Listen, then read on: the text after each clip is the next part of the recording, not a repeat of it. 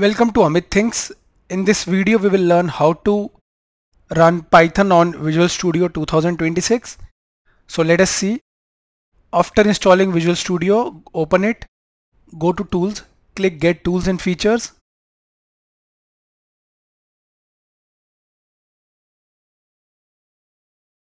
Under Workloads, we will go for Python development.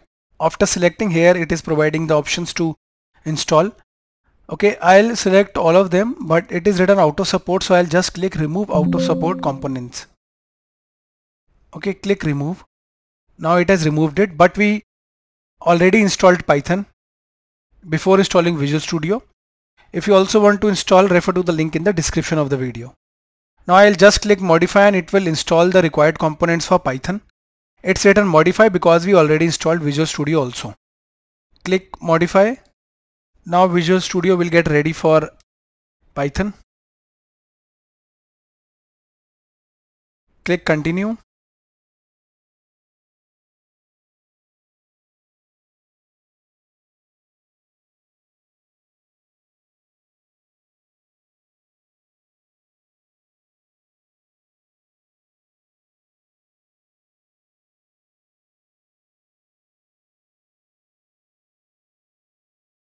Now Visual Studio will restart on its own. Now let us create a new project, go to file, click new, click project.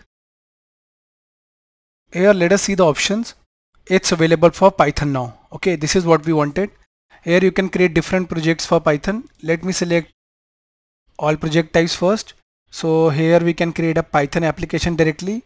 Go to Python application, click next. Here I am naming it Python Amit application.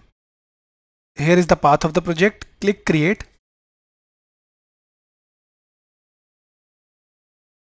Here is a Python file. Okay. So here first you can see Python 3.13 is visible. I can click add environment here. Here you can see the base interpreter is visible. I'll click existing environment. I told you that Python is already live on our system that means we already installed it so it is visible here. We can also go to this path under C drive go to program files. Here python and the following is the path python.exe okay? You can check on your own python 313 python.exe okay? So this looks fine. You can click add here. And we have our python environment. Let me print something for our example I am just printing my name Amit Diwan okay? And I'll go to file click save. Let us click start here.